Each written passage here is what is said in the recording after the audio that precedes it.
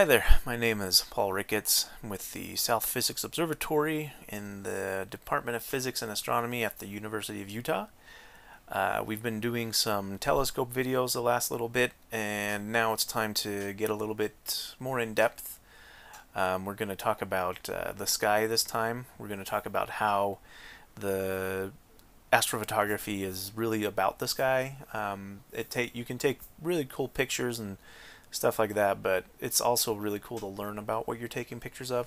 So we're going to uh, show you some stuff like that, but also it's going to be in a way that if you're just beginning to get into this, uh, hopefully we'll be able to um, give some things for you to understand what's going on, how to use things, how to set them up, what this means, what that means, and uh, all that kind of stuff. So it's going to be a series of um, I don't know, 20 videos or something. We'll see. I haven't made them yet, so we'll find out. Um, but uh, we're going to start off talking about sky mechanics. So that's basically how the sky works, uh, how it moves around, how we view it, how thing different things affect the sky, how astrophotography is affected by the sky. Um, that comes down to like how the atmosphere affects the sky, how light pollution affects the sky um, all that kind of stuff, and things like what is right ascension, declination, altitude azimuth. That way, when you come across it when you're doing astrophotography, you actually have an idea of what it is, um, and maybe it'll help you a little bit farther along. So, um, I think we should just get started. So, uh, let's go. First, what we have to talk about um, is kind of a really uh, kind of an old way of thinking about sky, the sky, but it's still valid. Um, so we're going to talk about what's called the celestial sphere, and the idea of this is just to give you kind of like a a um, kind of a centralized view of the the sky and kind of help you kind of envision what the sky is supposed to look like. Um, it's not supposed to be able to like take place of the actual universe. It's not an actual dome or anything above the Earth. Um, it's just a way of understanding it that for some people is a little bit easier. Um, so in the past, you may have seen something that looks similar to uh, this little thing. It's called a um, celestial sphere. You can see the Earth in here.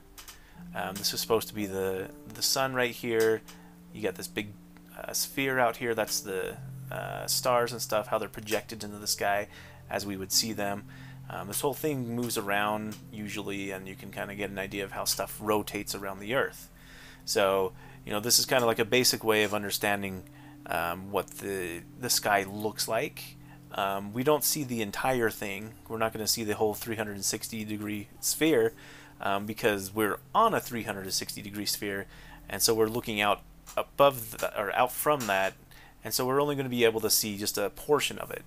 And so um, when we look at other things, like there's another way we can look at it and um, give you an idea of what's going on with it.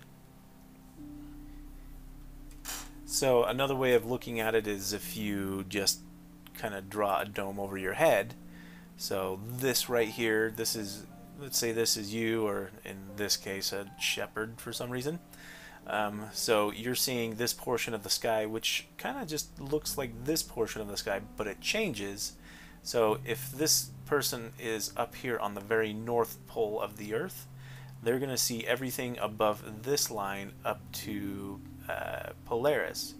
And depending on where they are down here, as you far, go farther and farther down, um, that kind of dome that you were able to see kind of shifts. And so you'll start to be able to see farther down here and less back here. Um, and then the uh, North Pole or the Polaris actually looks like it starts to come back down like this until you start going past the equator of the Earth, which would be kind of the same portion as right there, once you start going past that, the north actually starts to disappear because it dips down behind the Earth, and you start to see more and more stuff down here. And so that gives you an idea of what you're able to kind of look at up in the in the night sky. So another way of looking at this is if you come into this. So this gives you kind of a, an idea of how things work also. Um, a little bit less hands-on looking. Um, but to give you an idea, the there's this ecliptic that goes through the sky, the celestial equator, um, and then uh, there's other things that'll come into play in just a little bit. But the ecliptic is basically the path that that is the path that everything kind of follows in the sky, like the sun and the planets. Um, they all go along that, and the reason why it's tilted is because the Earth is actually tilted. So if you kind of just twist this just a little bit, then you actually kind of get that looking normal. And the celestial equator is just the projection of the equator of the Earth out onto the celestial sphere. So that would be like seeing this. You'll see the equator right here, and then the celestial equator comes around right in there. And then since this is tilted, you'll actually see the sun go up or higher, then lower, then higher, then lower um, through that sky. And you can see how it's mounted right here. And it's about 23 and a half degrees uh, off of the Earth's rotation axis just because it's actually been, the Earth is tilted. Um, so what we want to do is kind of understand that a little bit better. Um, we can talk about different things in different ways. Uh, so we're going to move on to kind of how the Earth rotates and moves and stuff, and then that'll give us a better Im uh, imagination. So it kind of help build on everything. Okay, so now that we kind of have an idea of what the celestial sphere is, you know, that's not exactly what the Earth and the sky and everything is. Like I said, it's just a way to project it out there to understand it. Um, so when we look at the real night sky, we're going to see some interesting things come up. So when we look at the north, we're going to see something that looks similar to this. So this star right here is Polaris. You'll notice that Polaris isn't here in the very center when we zoom in. The actual center is just a little bit off to the side right here. But that's because the north polar axis doesn't follow exactly with Polaris. It's off just a hair. But you notice the farther out you go, you see longer and longer streaks. And so when you look out here, these stars appear like they're moving faster, but they're just having to cover a longer distance, but it's moving at the same actual rate. It's not like the Earth rotates differently no matter like in where you are. It's just the angular speed that you're seeing things move through the sky is increasing as you get towards the celestial equator. And so if we switch this out for the next view, uh, so north is going to be up here, and you're going to see south down here.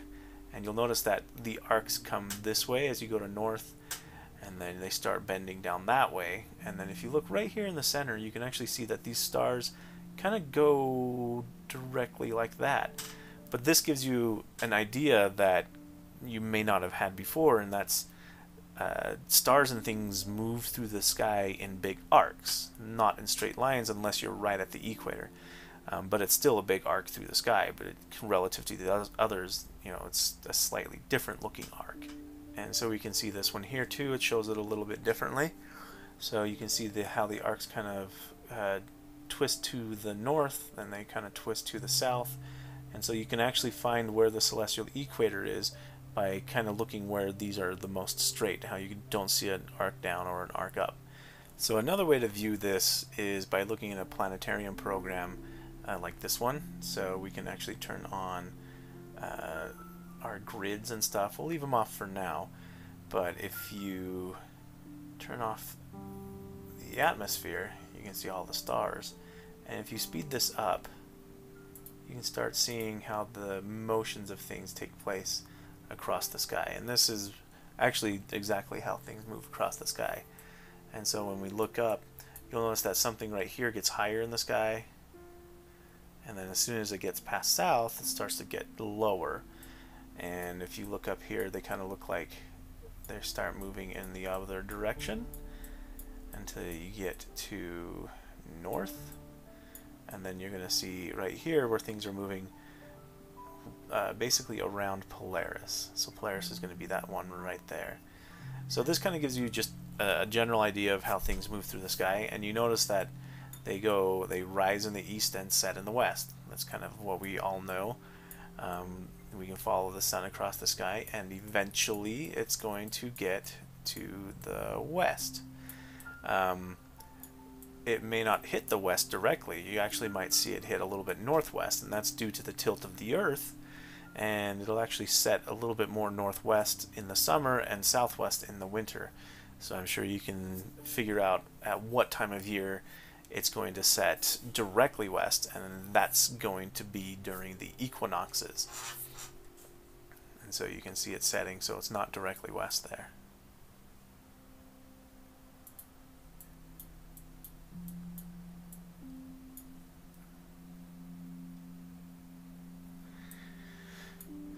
So a question you can you can bring up is since the sun and the stars all set in the west, what direction does that make the Earth have to turn in order for that to happen? And that means the Earth is turning towards the east. So we're rotating towards the east, and that's why everything comes back like this. You can kind of get an idea just by standing up and spinning around, and you see things moving past you as you're kind of going the opposite direction. Um, you know that's kind of a basic thing for uh, people to learn in school and stuff but you know sometimes we don't think about it after a while so a couple of little things there uh, to give you an idea of how that moves so we can do a, another thing and that's turn on some paths here so if we go into the program uh, you can pick some paths for things to follow through the sky and so what we want to look at okay we want to pick something out called the ecliptic close that out. And you'll notice that here's the moon. We'll go back in time.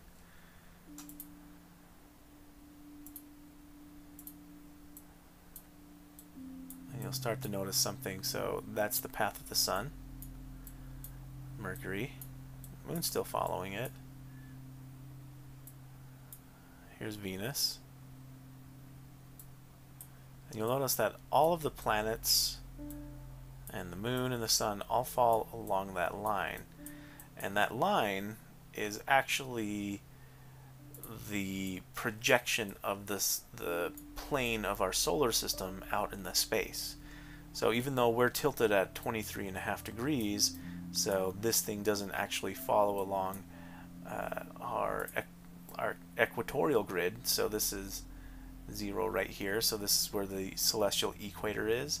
It's also where our equator is, but you notice that the sun and the planets don't exactly follow that, and that's about 23 and a half degrees um, from that to there.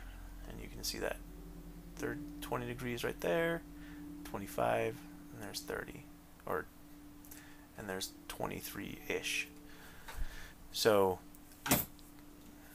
so it gives you an idea that that kind of that's kind of how our sky is set up. That's gives you another example of how the Earth is set up relative to the rest of the stars in the sky and actually the planets.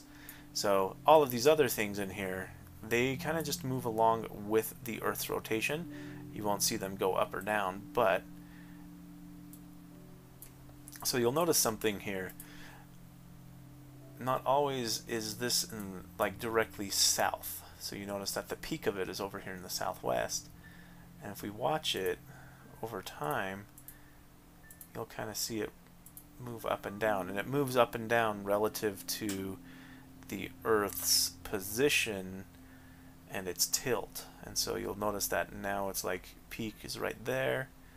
Now you'll start seeing that it's actually looking like it's getting higher and higher in the sky as the sun comes up. And so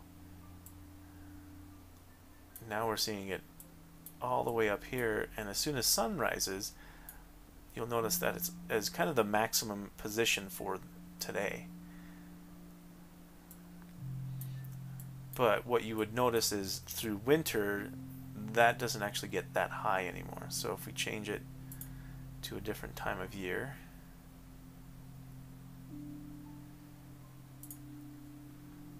if we change it to December,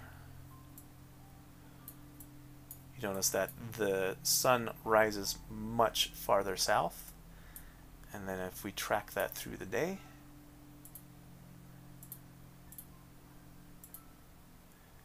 you'll start to see that instead of setting all the way up here in the northwest, it'll set down here.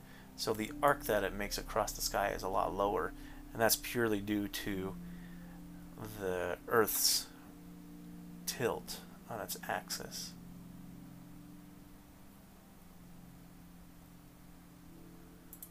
So something interesting to think about is yes, you will see, let's go back to now, you will see the ecliptic go across the sky, right there.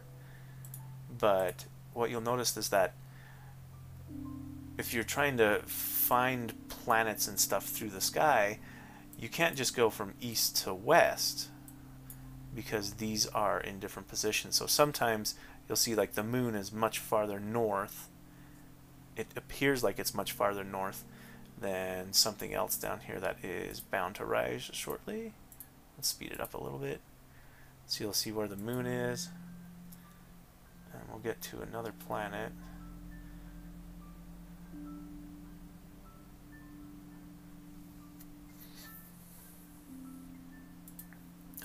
So then you'll see that if you're looking out this way, in this particular time of year and this time of night, which is around 104 a.m., the arc is kind of maximized right there.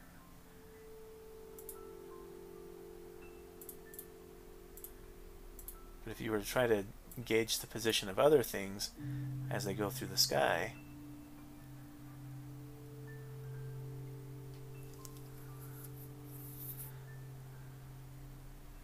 now it'll kind of throw you off because if you're kind of drawing, kind of trying to figure out where things are by drawing a line through stuff, so let's say the moon set off up here, and then you were trying to draw, draw a line from there to Saturn to Jupiter, across straight across the sky, you would notice that Mars doesn't fall along that. It's actually a lot higher in the sky, but that's just due to this position here. So you actually have to recognize um, the uh, basically the astrological signs and where they are in the sky, and that'll actually give you the path of the planets through the sky. So you can't just be like, okay, east to west, and then there's going to be all of them through here. So it doesn't really work as well as uh, you would think. So another thing that you can kind of figure out by looking at the sky is where the Milky Way lies. And so let's go back in time. Let's actually go to now and then forward a little bit. So this is going to be kind of cool imagination.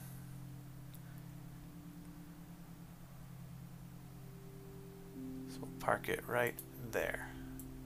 So this right here, that is the plane of our solar system. And you notice that it is not really in the same line as the Earth. So there's Polaris. So we're 23 and a half degrees from from that.